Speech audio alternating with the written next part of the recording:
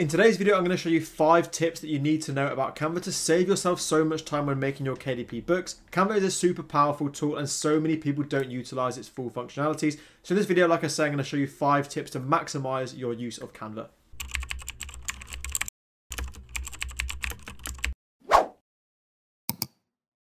So the first tip I'm going to teach you is all about text alignment. So let's just say for this example, you were making a KDP interior where you just needed all the text to be spaced evenly, both on the left-hand side and also um, vertically. What you would do for, if you were doing something like a quiz book, you might have question one here, then you might copy this and put question two, and then question three, all the way down to the bottom. And you'd manually be dragging and dropping all of these in here. So let's just say you had all of these different examples here, and you had to manually drop them in. What you can do is do it manually, but that takes a lot of time. Instead on Canva, all you need to do is just make sure your top and your bottom text boxes are where you want them to be. So make sure, for example, this is on the left position. Then make sure this isn't central. Make sure this is on the left. And then also do the same with the bottom text box. And just put this right down to the bottom of where you want the last text box to be. And they are the only two things that Canva are going to um, kind of use as, use as reference points in this example.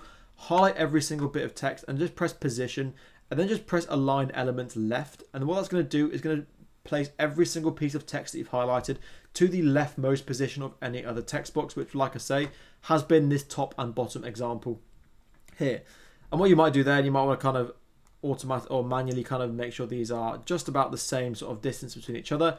Instead of doing that, what you can do again is highlight everything here go back to this position box and then just press space evenly vertically. And what that's going to do is have the, exactly the same vertical distance between each different text box.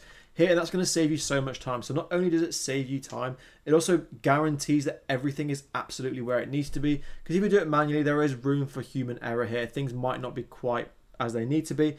Um, so that's one way you can save loads of time on Canva using text alignment so the second Canva tip I'm going to show you here is all about brand colors. So when you're making a design in Canva and you want to use kind of similar colors, you usually just get given a default kind of batch of colors to use and you have to manually go through and find the right color for you. If you're using the same colors throughout a design, you can make sure they're already there for you in your brand kit. So every single time that I go onto Canva now, these four colors are colors that I use very frequently. They're the ones that are always going to be there, so I don't have to manually go through and copy and paste the hex codes from online and put them in there. They're already going to be there in my brand kit. So setting up a brand kit is super, super crucial. All you need to do is go to canva.com forward slash brand and then just go to this brand colors down here and then just add a color palette. So you can add one here as your default one. You can add a second one if you need to and just add your very own colors to your palette. So let's just say your brand logo was this kind of purple, you want to make sure you're using that purple way more often than loads of other colors here. So you want to add it to your brand kit. And then once you've done that, go back into Canva and that should update now and you will have that purple in your brand kit. So rather than having to manually go through and find that color every single time, which it can be quite long if you do it that way. You now have that purple in your brand kit and you can use exactly that hex code every single time. So brand kits are the second tip in this um, KDP um, Canva tip video and they're really useful for saving you loads of time when finding the right colors for your designs. So this next tip isn't actually in Canva itself, but is super useful for Canva. It's actually a Google Chrome extension called Colorzilla. And what this essentially does is allows you to pick any sort of color from your screen and grab the hex code from that. So if you see a really cool color that you want to have in your design, you can literally pick it using the Colorzilla extension. So just go to the Chrome web store, type in Colorzilla, and it's this one with this cool kind of um, colored image. Go back to Canva, and let's just say I was making a book for Chinese New Year, and I wanted to make um, a front cover that had the same color red as the Chinese flag. I'd literally go up to my Colorzilla button up here, press into this, and then just highlight over the flag of the color I wanted, which is going to be this red of the Chinese flag. Click that, and what it's going to say is color copy to clipboard up here. I then go back through and let's just say I was making um, the front cover, so I just needed a square with that Chinese red on it. Just put this square in here. That's a terrible example of a square. SQ, spelled square wrong. Bear with. Put square in. Let's just say this was my front cover. I'd put this massive square over the top as my front of my book. And I want to have that Chinese red. And because it's already um, added to my clipboard from Colorzilla, I just press Control V and it's going to paste that red in there. And that's exactly the red that I had from that Chinese flag. So that's a really quick way of grabbing different hex code colors from any sort of color that you see on on the web on any sort of website.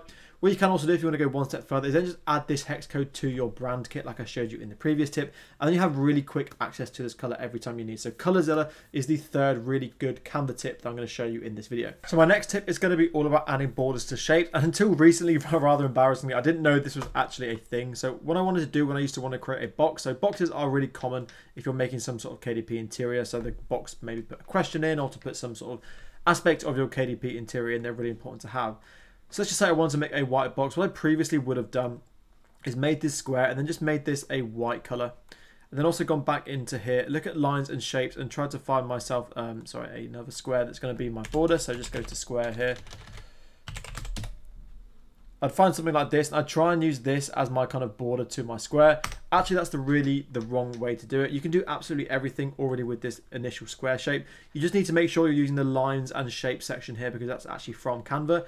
Go up to this button here and just press border style and you can see your border weight here. You can add different sizes and how thick you want your border to be. You can add border corner rounding. So if you want it to be a round corner, you can do that. And you can also change the type of border that you have. So you can be super flexible. And this actually took me so long to realize you could do. It's not just squares. You can do this with any sort of shape you want. So if you wanted to have a triangle, square uh, shapes that are typically quite hard to have borders for, you can add any sort of border you want to any sort of shape. So that's a really cool way of adding squares and rectangles to your kind of interior and make them more professional looking. Because if you just have a square that is kind of not outlined by anything on the side, it doesn't look quite as professional. Whereas if you actually have that black border, it just allows it to stand out a lot more and it's really good. And I use them in pretty much every single KDP interior that I make. So adding borders to squares can be super easy by just going into this border settings up here at the top. So the final Canva quick tip I'm going to show you in this video is all about text effects. Now all you need to do for text effects is drop any sort of text you want in here and then go up to this effects button in here and there's so many different ways you can use text effects to your advantage. As I showed you in the quote coloring book, Splice is a really good one. It just gives you an outline of your of your text. Right, let's make this as it was, direction as uh, zero. And the offset, basically just pull that down right down to zero. And you can actually now have a background for your text. So I just showed you how to make a background for your shapes. You can also have it with your text. So the splice is a really good option. And again, if you wanted to have this as a quote coloring book, you can just do that. And also now you can start coloring in these texts. So that's the uh, kind of effect that I use for any sort of quote coloring book loads of different effects there. You can have kind of um, shadows, you can have a hollow text, you can have lifts.